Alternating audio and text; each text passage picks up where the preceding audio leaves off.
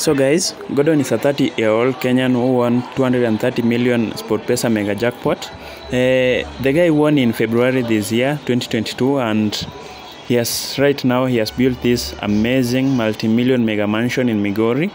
I think it's a good thing to have a home. You know, uh, after all, that's a lot of money, and I don't think it cost more than I would say not more than 50 million to build such a mansion. So he still has a lot of other money left. So I hope he has invested in other businesses and maybe bought apartments in the city and anywhere else in Kenya. Because as we all know, money can come so fast and it can also leave so fast. Many people are actually saying that he shouldn't have done this and he should have invested more in other businesses. Let me know in the comments what you think. Otherwise, like and subscribe. I am Dennis the National. Thank you for watching.